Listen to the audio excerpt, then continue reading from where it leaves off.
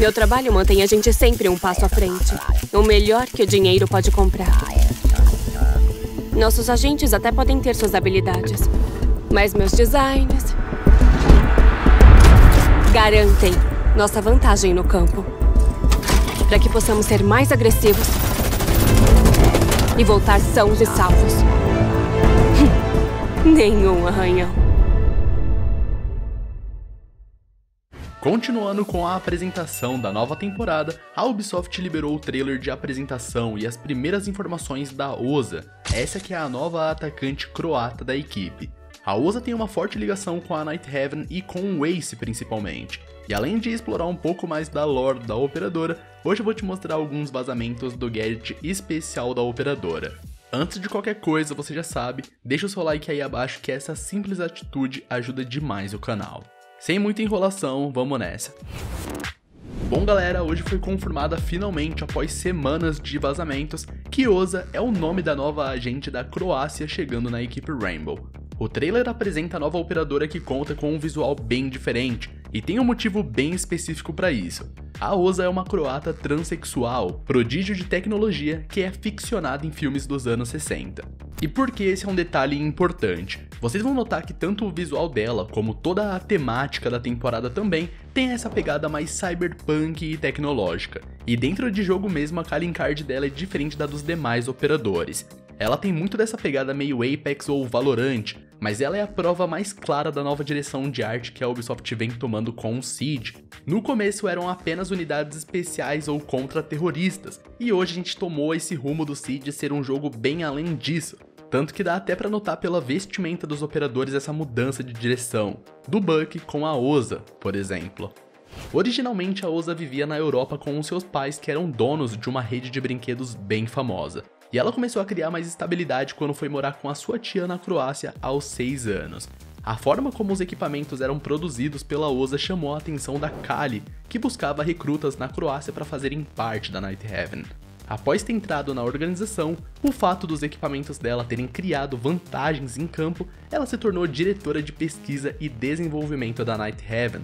Ou seja, ela tem um posto muito similar ao da Mira dentro da Rainbow, só que dentro da Night Heaven.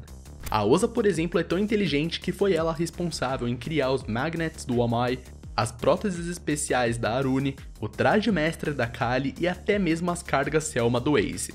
Eu comentei que ela era apaixonada por ficção dos anos 60, né?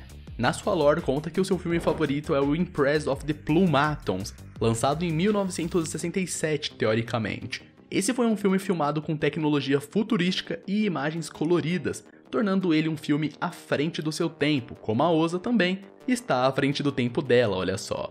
E a Kali fez questão de ressaltar que ela é realmente a melhor, tanto que até criou uma certa intriga com a Mira por conta disso. Então será que no CGI do Invitational de 2022 veremos a Kali brigada não só com a Ashe, mas com a Mira também? Eita. Em termos de vazamentos, vamos lá. Já foi vazado que uma das armas principais da USA é a 556 do Termite, como esperado. Só que além de ser a arma do Termite, as opções de mira como foi vazado vão incluir a 1.5 e a 2x na 556 da OSA, diferente da do Termite que conta apenas com a ACOG padrão. O restante do armamento a gente só vai descobrir na segunda-feira, dia 16, durante a revelação completa da operação.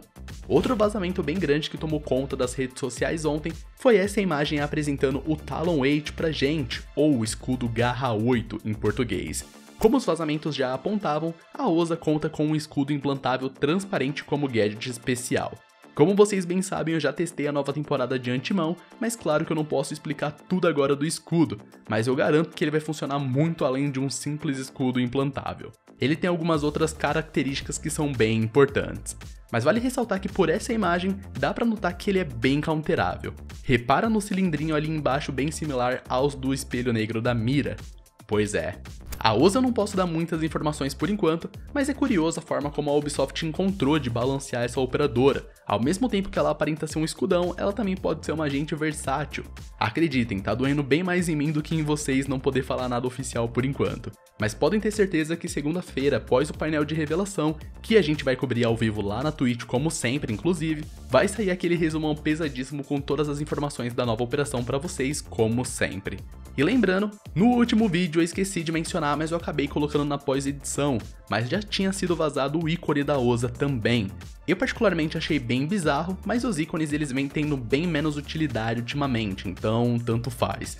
Mas eu quero saber de você. Você gostou do trailer e da lore por trás da Oza? Acha que ela vai ser forte ou fraca demais? Comenta aí abaixo que eu quero saber a sua opinião a respeito, viu? Mas por enquanto é isso, galera. Eu vou ficando por aqui, mas se você gostou desse vídeo, não se esqueça, por favor, de compartilhar com seus amigos para me ajudar no feedback positivo, tá certo? Eu me chamo Gabriel Cerqueira e esse foi mais um vídeo do canal de Gamer pra vocês. Espero muito poder contar com a sua presença no meu próximo vídeo e até mais, galera.